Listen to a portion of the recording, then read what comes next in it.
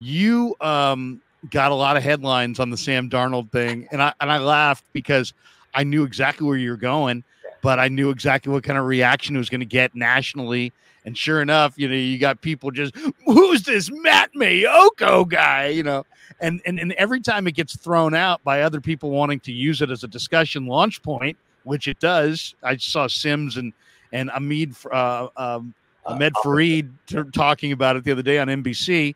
Um, well, Matt Maiocco, and then they always everybody always champions your credentials, which you know means a rip is coming, right? Matt does a great job, and he's been covering the team for a long time. And he said, "Chris Sims rip on me." No, they didn't rip, oh. but you know, it's so easy to be like, well, I don't know if it's better than Joe or Steve. But I understood what you were saying. What you were saying had you weren't saying that Sam Darnold was a better quarterback than these guys. You were saying that if you just strictly looked at the mechanics of the strong arm pocket passer thrower, that this guy throws the ball down the field as well as anybody who's ever suited up for the Niners.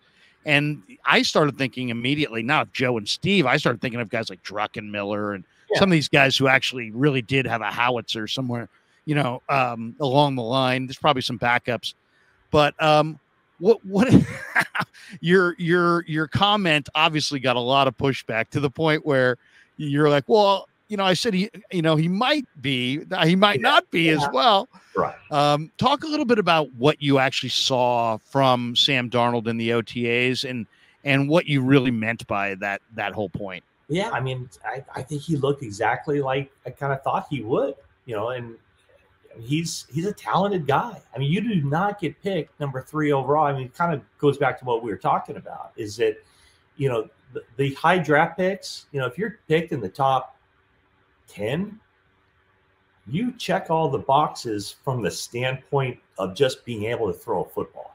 And then once you in the you you get in the building, then you know teams find out about the decision making, the timing, all those things. So, I mean, yeah, let's not misconstrue this. I did not say Sam Darnold is the greatest quarterback in the history of the NFL. In fact, I what I I mean, how many times you talk about a good and the, the term I used was you know thrower.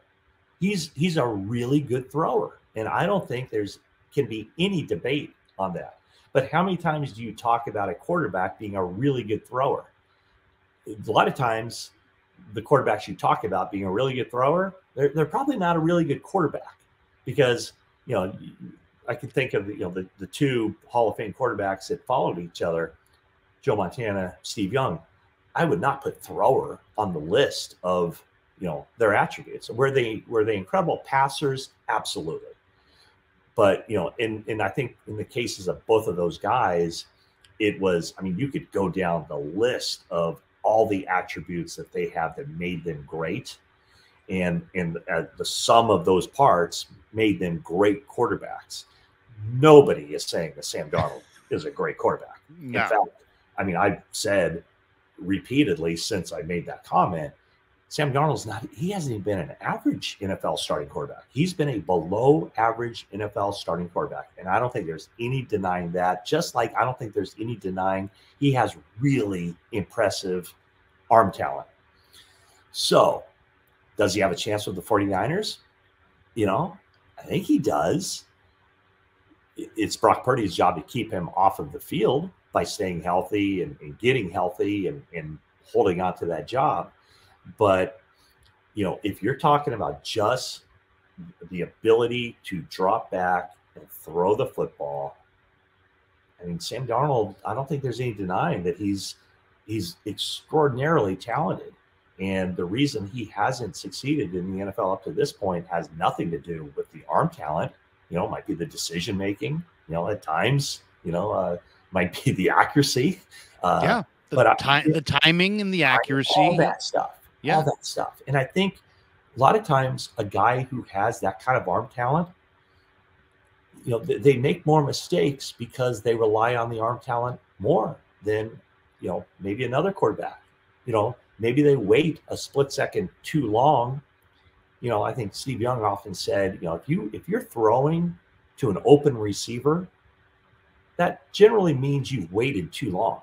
You have to throw to the receiver before he comes open, or as he's coming open. You got to throw with you got to make those anticipatory throws. You got to throw with a little anticipa- anticipation. You got to lead him to the open area, and yeah. that you know that's that's quarterbacking whatever 3.0, 5.0, whatever you want, yeah. whatever you want to call it. It's funny because I you, you talk about uh, Chris Sims. I, I don't have it on my phone right now, but I, I read his ranking. So he ranked you know, he's ranking the top, I think, 40 quarterbacks in the NFL. Didn't have Lance in the top 40 and Did had have, Purdy 26 and Darnold 27. Right. And, and, but his comment for Darnold was very much in line with what I said. Like he talked about the arm talent. And you know, there the reason that he put Sam Darnold 27 was because of his ability to flat out throw the football. And now let's see what he can do in a system. Like, you know, obviously the reason he hasn't succeeded a lot to do with him. I mean, it's primarily on Sam Darnold's shoulders, but he also hasn't had a whole lot of help either. You know, it's a, lot of different coordinators and in, with the Jets, a lot of uh, influx there. Heck, I was talking to Frank Gore, and he was he was reeling off who the receivers were on the team that when Frank was teammates with Sam Darnold with the Jets, and basically you know, without throwing anybody under the bus, he listed off the receivers, and it wasn't a real impressive group. No. And then last year, uh, you know, he started to play. I think he started to play pretty well with the Panthers, but you know, this is clearly an opportunity where I think he and and Trey Lance are pretty similar in that um, it, for each of those guys, it's not necessarily the competition with the other guy it's the competition with themselves. You know, it's Trey Lance worried about Trey Lance and trying to make himself better. And the same goes for Sam Darnold, just trying to. He's a young guy. That's that's the crazy. Only twenty five. Yeah. yeah. I see twenty. He, I think he, Sam Darnold's twenty five. I think yeah, Trey yeah. and Brock are twenty three. Yeah. So he's still a young, young guy, and still has, you know, maybe the ship has sailed, maybe not. Um, but he's still such a young guy. You wonder what that upside is because he does have the one thing you can't teach, and that's just the ability to to drop back and, and spin it. Well, and uh, you know, we all have watched a lot of football games, right? Um, there's turnovers are not turnovers in my mind. There's a turnover that when you're driving in the first quarter and you throw a pass and it gets picked off, but then there's also you're down 17 points in the fourth quarter, coming from behind, and you're trying to play fast and you're taking some chances because you have to because you're a competitor and you're trying to win the game. And now you throw a pick. Well, I looked at the numbers and the number of turnovers that Sam Darnold had when he was trailing in the fourth quarter with the Jets, I think have taken that statistic of his turnovers and and distorted it to the point where we all think he's a disaster but in reality, he was a guy who was trying to make plays on bad teams in the fourth quarter, and so he piled up. I'm just saying, let's say he has he's got 15 or 16 turnovers, fumbles and or interceptions um, that are a result of being on a bad team late in the game, trying to make a play. Now, but uh, I will say this though, the thing that makes this particular quarterback uh, competition between the three guys so interesting is there's all three of these guys have such um, incredible uh, passion to to. I mean, Brock's trying to show everybody that what happened last year is not an accident. Trey's trying to establish himself as a legitimate franchise quarterback. Sam Darnold may be on his last legs as a starter, and th- if he can't make it here, he may not get another opportunity. So you got three guys that all have talent, but they're also really, really motivated, almost desperate to establish themselves. And I think it's going to make for an incredible um, summer in Santa Clara.